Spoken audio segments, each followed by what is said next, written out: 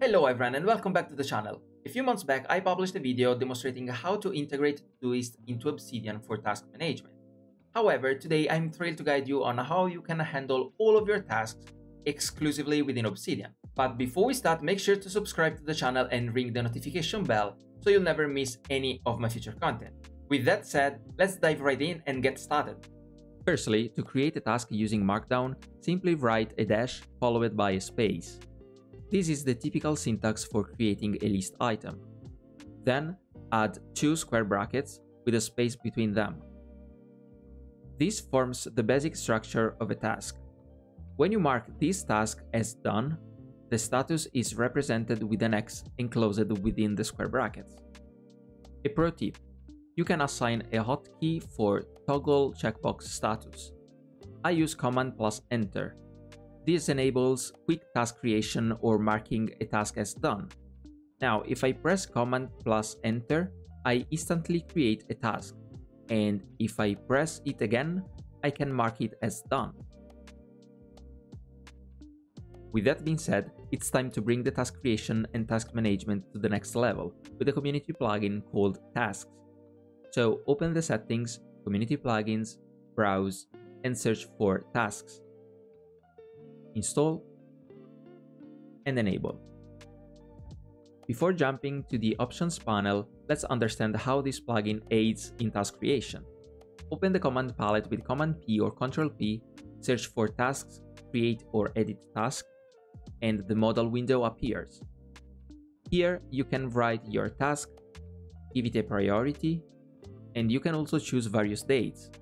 If your task recurs, use the recurse option.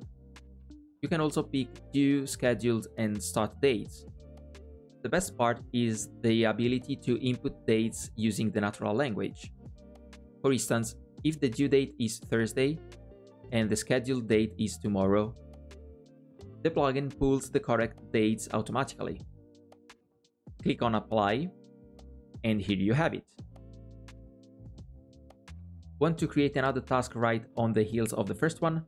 Simply hit Enter the plugin will automatically suggest fields for the next task. Let's name it second task and set both a scheduled date and a due date. In this way, you can swiftly create a new task. Now that you know how to create a task through the plugin, let's explore the options panel. First off, you can modify the task format. You can choose either the tasks emoji or Dataview format.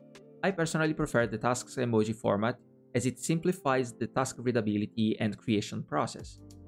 Next, we have the global filter settings.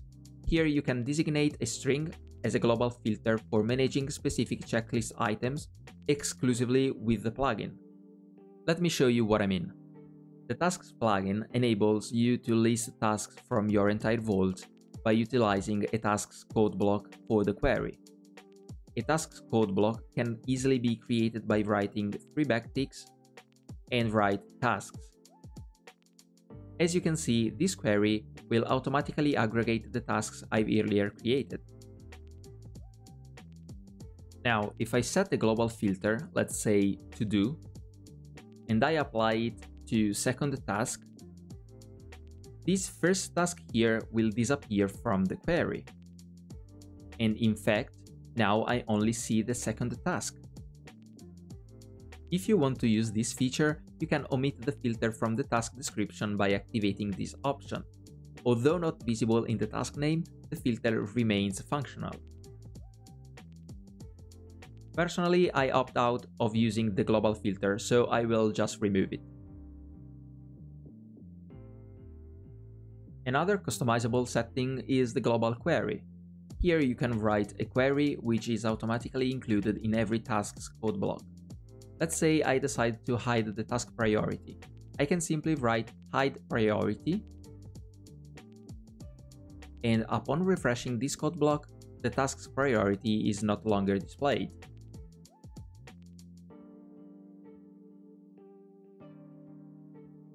Following the global query, there's the task statuses section where you will find all the statuses that your tasks can adopt in order to customize your task management system. the ones available by default are the statuses to do, done, in progress, and cancelled. You can map these or add some new ones. Returning to our task, suppose I am engaged with the first task. To switch its status from to do to in progress, I just need to modify the task via the task plugin modal we previously explored. Change the status to in progress, and then hit apply. Now the task is in progress, and once finished, I just need to mark it as done. As you can see, the icon adjusts and the done date is appeared. Lastly, you can enable or disable other options as per your preference, such as the done date on every completed task, the cancelled date on every cancelled task, and the auto-suggest task content. Let's return to our note and add some new tasks. For example, new video recording,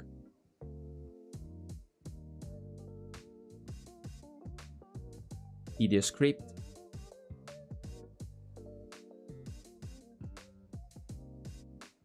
new article,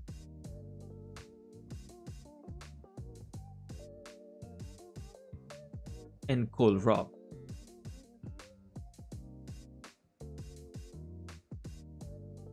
In this case, the task new video recording will be done after the video script. The Tasks plugin provides a handy feature known as task dependencies. Basically, if I launch the modal to edit the new video recording task, it allows me to specify that the video script task must be completed before this one. Upon clicking apply, you'll notice that the task is blocked indicating it is dependent on another task with this ID, which in this situation is the video script task. This feature can be particularly useful if you are adopting a waterfall project management approach whereby you complete a project in a sequential step-by-step -step process. Okay, now I want to show you some example of tasks queries. So let's say I want to see only the completed tasks. Rebackticks, tasks, and then done. Easy, right? As I mark additional tasks as done, they will automatically populate in this list. Obviously, the same method applies to tasks that are not completed. I just need to replace done with not done. Moreover, if I want to limit this list to a maximum of two tasks, I simply need to include the filter limit to.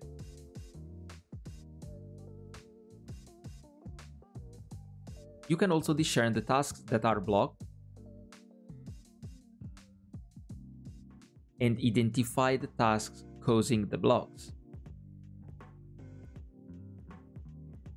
Given the multitude of filter combinations available, I will leave the link to the quick reference document in the description below so you can craft any required query with ease.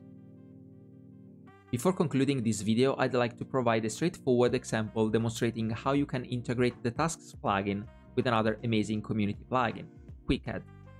This combination facilitates some interesting features. For those unfamiliar with QuickAdd, I've already covered it in an introductory video. You can find the link in the description below. So, open the settings and install QuickAdd.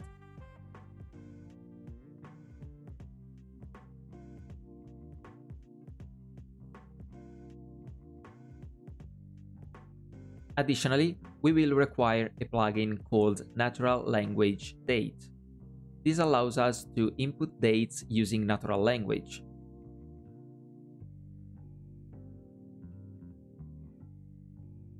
Now, suppose you have a projects folder containing specific project nodes.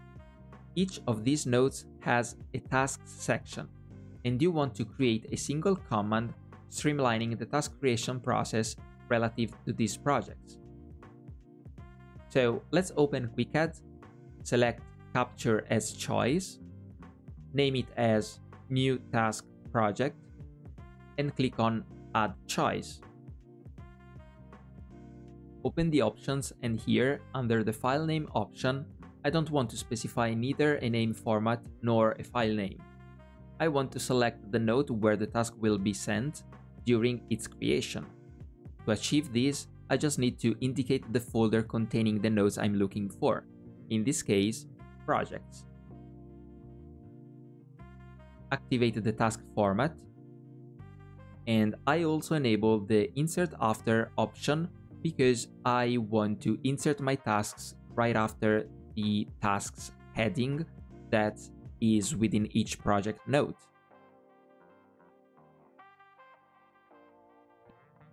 Lastly, I want to customize the format of the capture.